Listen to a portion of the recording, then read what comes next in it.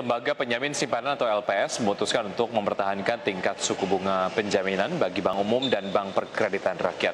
Keputusan ini diambil mempertimbangkan kondisi makroekonomi perbankan.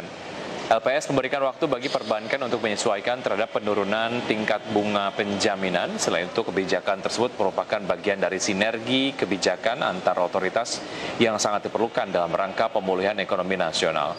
Ketua Dewan Komisioner LPS Purbaya Yudisa Dewa menyebutkan dengan demikian tingkat bunga penjaminan untuk rupiah pada bank umum masih di angka 4,5 persen. Sementara tingkat bunga penjaminan untuk rupiah pada bank perkreditan rakyat sebesar 7 persen.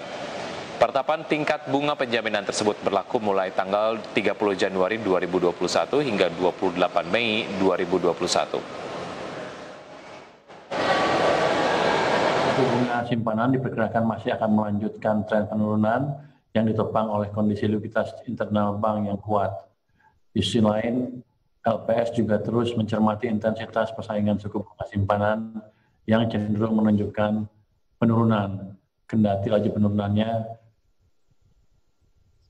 belum cukup, belum maksimal, dan belum merata. Pemirsa tetaplah bersama kami karena saat lagi Newsroom akan kembali dengan informasi bisnis dan pasar modal.